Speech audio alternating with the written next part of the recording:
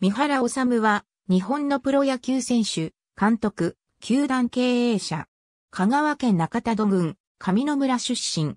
選手としては、1934年に発足した大日本東京野球クラブの契約第1号。監督としては、選手の調子、月を見逃さない、軽眼の持ち主で、周囲の予想を超える、選手起用、戦術で、数々の名勝負を演出し、三原魔術と共嘆され、魔術師、地匠の異名を取った。日本プロ野球史上、日本野球連盟にリーグ分立後のセントラルリーグ及びパシフィックリーグ、両リーグ加盟球団での日本選手権シリーズといった3種類の優勝を経験した唯一の人物。監督としての3248試合出場は日本プロ野球記録である。また監督としての5球団在籍も、藤本貞義、石本修一と並ぶ日本プロ野球隊記録である。記者として、放置新聞社読売新聞社に勤務していた時期があるほか、晩年には日本ハム球団株式会社の代表取締役、社長研究団代表相談役を歴任した。旧本名及び巨人総監督退任までの表記は、三原治、長女の敏子は中西太の妻であり、三原は中西の義父にあたる。大地主の末っ子として名に不自由なく育った。香川県立丸亀中学校で野球にのめり込み、管理になることを望んだ父親の意向で、香川県立高松中学校に転校させられたが、高松中の校長は文武両道を推進しており、野球部入部を条件に転入を認めた。高松中では遊撃手として、当主の梶原秀夫らと共に、第14回全国中等学校優勝野球大会へ出場し、準決勝まで進出したがウテンコールドで敗退した。野球部のマネージャーを務めたのが後に日本社会党委員長となった成田智美だった。卒業後、第4高等学校を受験するが、中学の先輩がいた早稲田大学にスカウトされ入学。野球部では1年生時から二塁手として活躍する。特に1931年春季の総計戦2回戦で、投手、水原茂を相手に観光した勝ち越しホームスチールは、総計戦士に名を残している。リーグ通算67試合出場、231、打数68安打、打率294。しかし、1933年には結婚を機に野球部を退部し、大学を中退し帰郷した。故郷ではブラブラしていたが、大学時代の仲間に誘われ、大阪府へ転居し、全大阪でプレーをした。1938年当時の三原1934年6月6日に契約選手第1号として同年12月26日に正式発足する大日本東京野球クラブへ入団し、プロ入りするが、翌1935年1月に入営のため退団。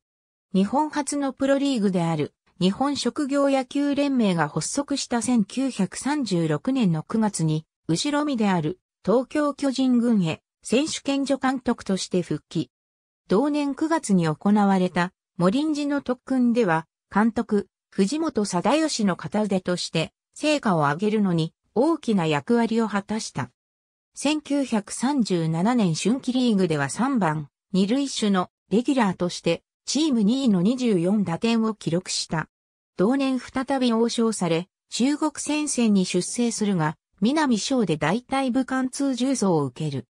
1938年巨人に三度復帰するが、春季リーグでは二塁手のレギュラーを新人で野手に転校したばかりの千葉茂に譲る形となる。一説では、当時三原は株式の売買に忙しく、しばしば地方遠征への不参加があったという。同年の秋季リーグでは、二塁手のレギュラーに返り咲き、トップバッターを打つ。同年の大阪タイガースとの連盟選手権試合、第一戦の終了後に、杉村塁審の判定に不満を持った監督の藤本貞義が審判室へ抗議に入る。三原はこれを止めようとして追いかけるが、偶然バットを持っていたために、三原にも連盟から出場停止処分と罰金が課されることになる。しかし、三原は何もしていないのに出場停止と罰金に処されることを不服として引退、退団した。引退後は放置新聞社で記者として活動するも3度目の王将を受け、ビルマ戦線に従軍した。太平洋戦争後は読売新聞社運動部の記者として勤務し、野球表を書いていたが、1947年シーズン途中の6月3日には、球団が成績不振に悩まされていたため、監督に就任することで球団側と合意し、同6月6日、大学の後輩である監督の中島春康に配慮し、助監督、技術顧問へ就任した。9月には総監督へ就任し、実質的に指揮権を握った。この年巨人は5位。翌1948年は全試合で三原が指揮を取り2位となった。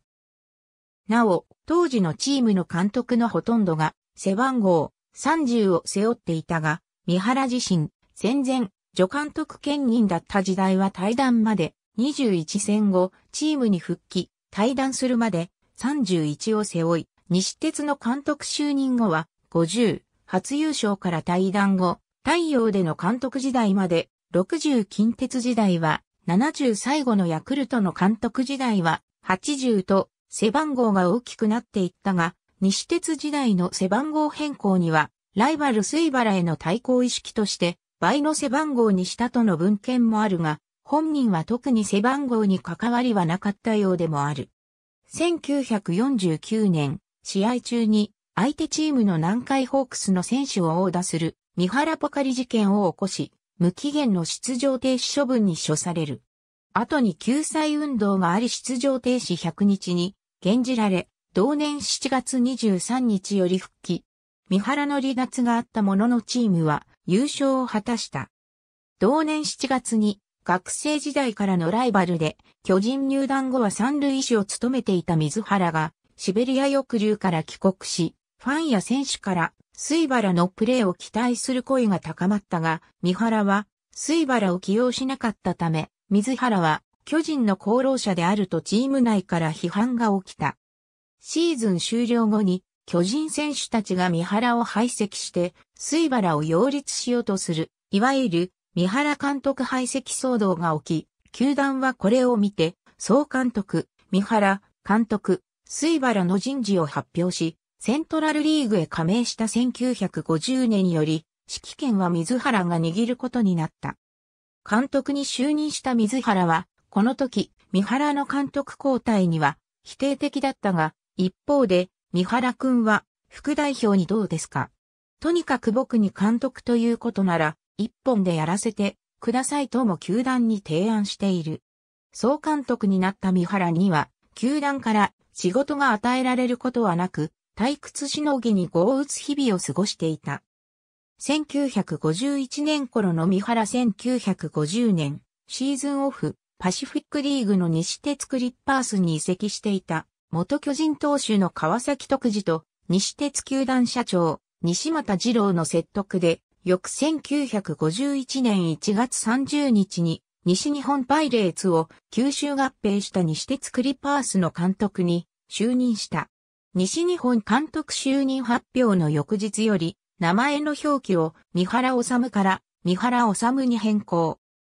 解明の動機について、三原本人は実著などで触れることはなかったが、後年、長男が明かしており、修学、修行といった発展途上を表す熟語のイメージが強かった、治の字と決別したい思いがあったとされ、巨人監督時代にはチームをうまく収めることができず、排斥騒動が起きたことから、監督として、より工事の立場から収めたいという願いをおさむの字に託したようである。巨人総監督時代の悶々とした気持ちを晴らすため、西鉄を強大なチームに育て上げ、日本シリーズで巨人と対戦して、任そうと誓った三原は、1952年に中西太や球界屈指のスターである大下博士の獲得に成功すると、豊田康光、稲尾和久ら若手有望選手を相次いで獲得して、大下を軸とするチーム作りを進めた。1954年にチーム初のリーグ優勝を果たしたが、セリーグは中日ドラゴンズが巨人を抑えてリーグ優勝を果たし、この年の日本シリーズでは巨人との対戦はならなかった。シリーズは中日に3勝4敗で敗れた。そして1956年に2年ぶりの優勝を果たすと対戦相手は水原率いる巨人となった。この両者の戦いはマスコミから岩流島の決闘と評されるほどの注目を集め、4勝2敗で、ついに念願の巨人を破っての日本一を成し遂げた。以後1958年まで3年連続で巨人と日本シリーズで対戦し、いずれも三原率いる西鉄に軍配が上がる。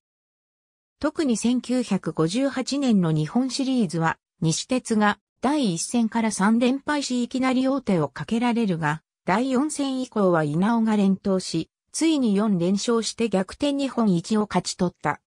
その際、第3戦が行われた10月14日の翌日未明、三原自身が徹夜麻雀の途中で降雨に気づき、西と電話連絡をして15日の第4戦中止を取り決めたという。この第4戦延期で稲尾を休ませたことが勝因だった。日本シリーズ史上初、ワールドシリーズにも前例がない3連敗からの4連勝であり、この年の両者の戦いぶりは日本プロ野球の歴史に残る名勝負と称えられる。しかし、三原は西鉄を退団して他球団への移籍を目論んでいた。その時、太陽ホエールズが三原の意向をつかみ、監督就任寸前までこぎつけたが、放置新聞がこれをスクープし、結局西鉄に残留する。しかし1959年11月19日、この年4位に低迷した責任を取り監督を辞任、11月21日太陽の監督に就任した。当時太陽は1954年から59年まで6年連続再開であり、万年再開の太陽に名称と呼ばれた三原が監督に就任したことは大きな話題を呼んだ。そして水原率いる巨人とペナントレースで戦うことになり、マスコミから岩流島の戦い再現と懸念された。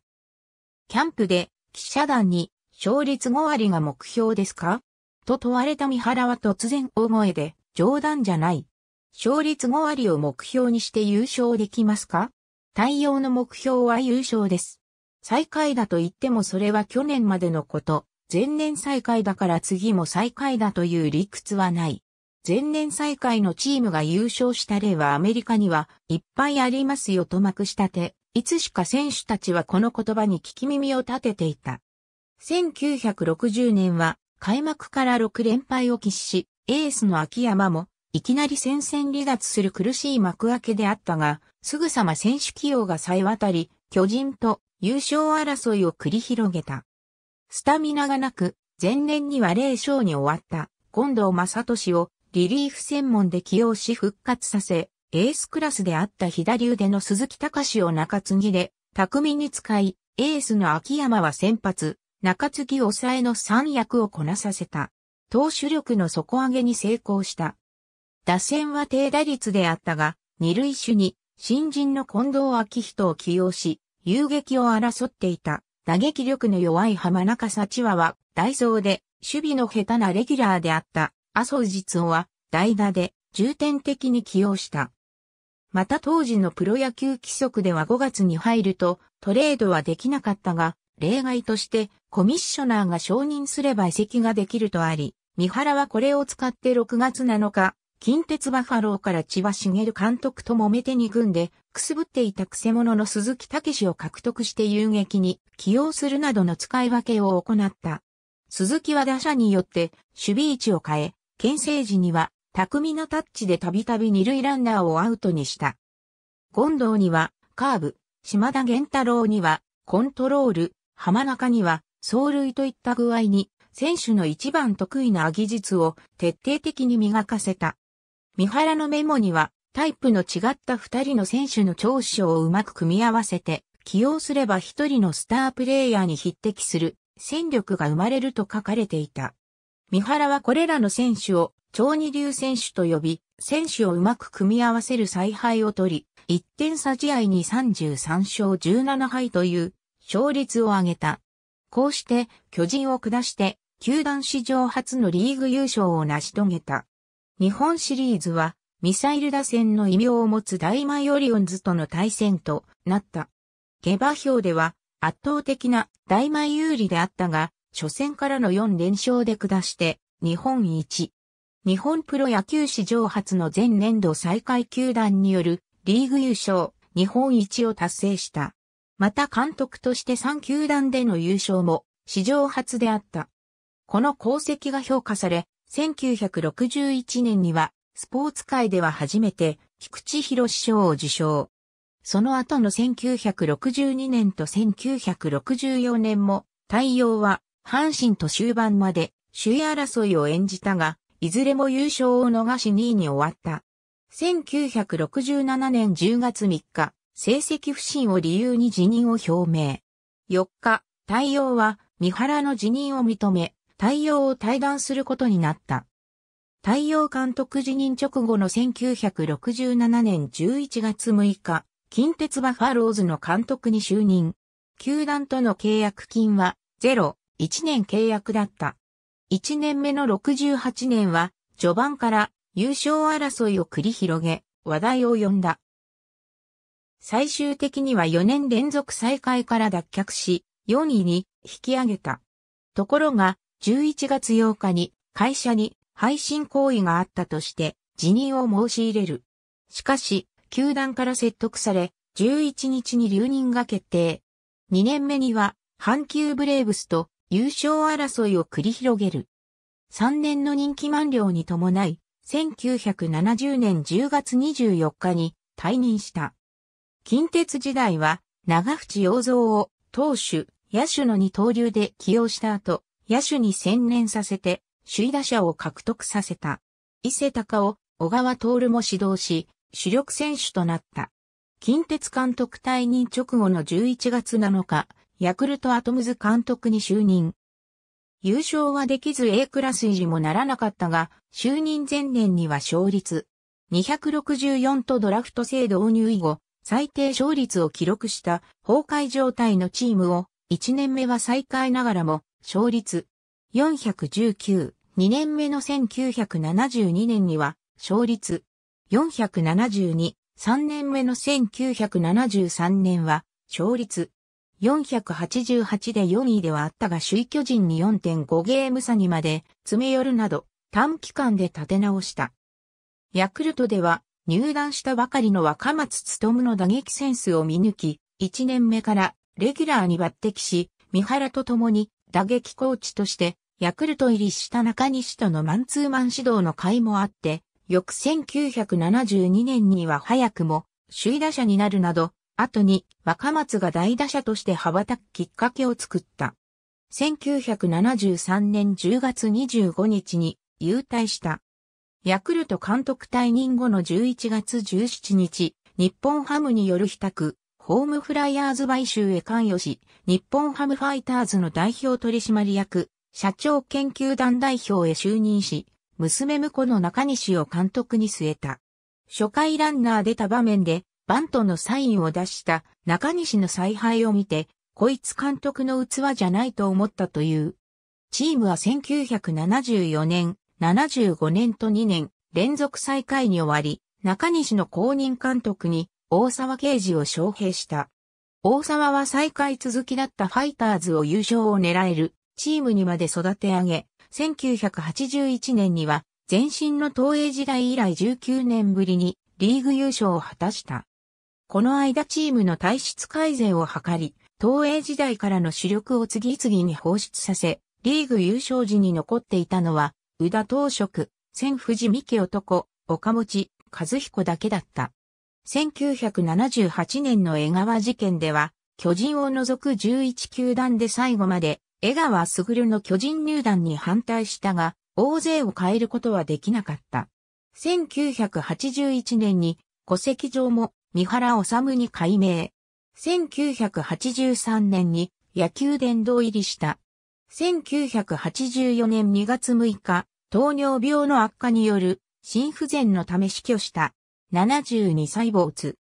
三原と水原の銅像大学時代のホームスチール事件の一方の主役で、同じ香川県出身の水原とは、武蔵、小次郎にも例えられた永遠のライバルであり、1951年、西鉄監督就任後初のキャンプで、我いつの日か、中原に羽音な縁と、第一声を発したとされる。また、1956年からの日本シリーズでの直接対決は、岩流島の対決と呼ばれた。三原がヤクルト監督に就任した1971年、ライバル、水原は同じセリーグの中日で監督を務めていた。この年のセリーグ最終戦となった10月9日の試合は両者の最終対決となり、川崎球場で行われ、水原中日が勝利した。ちなみにこの年のヤクルト、中日の対戦成績は12勝12敗2分。犬猿の中とも評されたが、ユニフォームを脱いだ後も交流はあったそうである。晩年は、三原がパリーグ会長、水原がセリーグ会長となる計画を立てていたが、実現することなく亡くなった。西鉄時代の三原マジックの代表的存在として、流線型打線がある。バントやつなぐ打撃を期待される2番打者に強打者を配置する当時としては画期的な打線組で1954年のリーグ、制覇時は2番、豊田康光、3番、中西太志、4番、大下博士の強力打線を組んだ。三原は独自の打線論を披露し、当時の西鉄強力打線は水爆打線と呼ばれた。現在の野球でもこの打線論を組んでいる部分が多い。流線型打線とともに、三原の代名詞となったのが、超二流で、一流ではないが、守備や打撃など一芸に引いてた選手を好んで起用していた。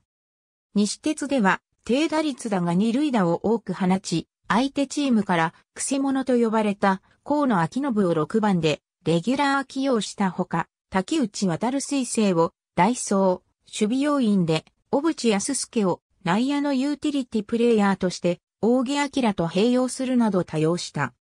太陽時代は代打の切り札として麻生実を起用し、主砲の桑田武史に、君は打率2割5分でいい。その代わりホームランを打てと指示するなど、弱小と言われたチームで、選手たちの特性を見抜き多彩な選手起用を見せて、成功を収めた。また、運、月の有無をオーダーに反映することもあり、月がある選手は実績に関わらず起用して、多く成功させている。1958年の日本シリーズで当時スターティングメンバーは事前に公表することになっていたが、第6戦に事前公表した打順とは違う選手を起用した。これを水原はルール違反だとして抗議し試合開始が遅れたが、三原は事前公表に反する起用したことを意に介さず、むしろ抗議の間に私鉄側はバットを振っていればいいが、守る巨人側は投手の肩が冷えないよう神経をすり減らすことになると踏んだため逆に喜んだ。1960年の日本シリーズ開幕前夜に日本教育テレビでシリーズ直前インタビューと題し、大前監督の西本幸夫との対談番組が放送される予定だったが、予定時間になっても三原がネットのスタジオに現れず、西本と番組ホスト役だった野球解説者の佐々木真也との対談に終始した。第一戦当日、佐々木と番組スタッフは監督室にいた三原を訪ねて抗議したところ、三原はそこでネットを侮辱したかのような発言をしたため、温厚だった佐々木を大激怒させた。なお、三原と佐々木にはこの前に伏線めいた話があり、シーズン中に、土谷氏が決めたスクイズに対し、佐々木は三原がいつサインを出したかついに見抜けず、試合後監督室に聞きに行ったところ見下したような顔で、あれは見事なスクイズでしたねとしか返事がもらえなかったことがあった。さらに佐々木は東京六大学で同期だった土井に真相を尋ねたところ、オフレコを条件に自分が出していた。三原監督は時々選手の判断に任せてサインを出させることがあると告白されている。実際、西鉄時代にも主に2番を打っていた豊田康光はヒッティング、バント、ヒットエンドランの選択を三原から任せられ、塁上の走者にサインを出していたことがある。前述の対談番組以降も西本幸雄とはその後も縁が続いた。三原が近鉄を率いて、チーム初優勝に挑んだ1969年に、阪急の監督として、それを阻んだのが西本だった。そして、それから10年後に、西本が近鉄の指揮を取り、三原の成し遂げられなかった近鉄の初優勝が実現した。また、当時三原が相談役を務めていた日本ハムが、球団上と以来の初優勝に、マジック1と迫ったシーズン最終戦に西本率いる近鉄に大敗し、後期及びシーズン優勝を近鉄に譲っている。三原は当て馬やワンポイントリリーフなどの様々な戦術を駆使した。当て馬作戦は、三原が西鉄の監督を引き受けて間もない頃、南海ホークスの鶴岡和人監督に目まぐるしく、投手を変える細切れ交代に泣かされ、対抗策として思いついたもの。1960年9月19日の阪神戦では1試合に26人の選手を起用した。通常一軍登録メンバーの中からベンチ入りできるのは25人までであるが、当時5月1日から9月15日までの期間以外は45名の支配下選手登録内であれば何人が出場しても良いというルールが存在したことが、この作戦につながっており、三原は後にこんなおかしな制度があるんだということを提唱したかった、と本人自ら述べている。1962年9月22日の対中日ドラゴンズ戦では発表した先発メンバー中若手主体の7人を偵察メンバーとして送り出し、試合開始後にはそれを全員主力選手に交代させた。以下、そのメンバーの一覧である。後にエスカレートしていき、プロ野球全体の大きな問題となったサイン盗みをパリーグで最初にやったのは西鉄監督時代の三原で乱数票の導入も近鉄監督時代の三原と言われている。三原の回想によれば、サイン盗みは外野のスパイが内輪の向きを変えるなどして選手に伝えていたという。1960年の日本シリーズ初戦の先発投手では、シーズンでは中継ぎ主体だった鈴木隆を起用し、1回途中でエース秋山昇に交代。オープン戦で秋山からよく打っていた石川進との対戦を回避する目的で、走者が出たところでの交代と決められていたが、実際には石川は先発しなかった。偶数戦必勝主義を唱えた。1956年の日本シリーズ初戦敗北時に、初戦の負けは計算済みで偶数戦に勝つことが重要であるとの考えである。この考えは、後の二戦目重視主義のルーツとなった。ヤクルト時代に満塁の場面で代打の打つか通るに全球見逃しの指示を出した。何か仕掛けてくるだろうと相手に思わせて押し出しの死球を狙ったもの。結果はその通り死球となった。太陽時代には、アルグルンワルド、近鉄時代は、長淵洋蔵、ヤクルト時代は、富山義明と投手でありながら、打撃の良い選手に、しばしば投手、外野手といった起用や、代打で起用したりした。1956年のシーズン最終戦ですでに2冠を確定させ三冠王の可能性もあった中西をあえて休ませ、同僚の豊田に5毛の差で首位打者を獲得させた。お前は2冠も取れたんだからもういいだろうと説得したという。中西が三冠王を獲得していればに、リーグ分立以降では、初の三冠王であったが、この頃は、世間一般にも三冠王という概念はなかったとも言われている。太陽時代、阪神とのペナントレースが激化していた頃、国鉄に敗れた際、死に馬に蹴られたと一言。これに激怒したのが、国鉄の金田正一である。金田は残る一試合の太陽戦に登板して、関東で勝ち星を挙げ、それが太陽が優勝を逸する遠因にもなった。また、国鉄が3試合残っていた、阪神戦には金田も、主力投手の村田源一も登板しなかったため、国鉄は太陽に優勝させたくなかったのだろうと言われた。外国人選手をめぐるトラブルに泣かされることが多く、ヤクルト監督最終年度である1973年には、ジョー・ペピトーンをめぐるトラブルに巻き込まれ、日本ハム球団社長に就任したばかりの翌1974年には、バールスノーの失踪騒動にあった。1973年を最後に監督業を退いたが、明治生まれで最後のプロ野球監督だった。日本ハム球団相談役の職に就いていた1981年10月1日、新たに人名用漢字に追加された54字に、三原の名前である、おさむが入っていたため、その取材を受けたことがある。1951年より、三原治から三原治に改名していたが、戸籍上は長らく三原治のままだった。これは漢字の使用に制限も受けられた戸籍法が1948年に施行され、治が東洋漢字に含まれず、1951年に新設された人名用漢字にも含まれなかったためである。前述の人名用漢字追加がなされた際、三原も、治への改名申請を家庭裁判所に申請。野球外でも三原治の名前を使用し続けていた実績からすぐに改名が認められ、晩年にようやく三原治が本名になった。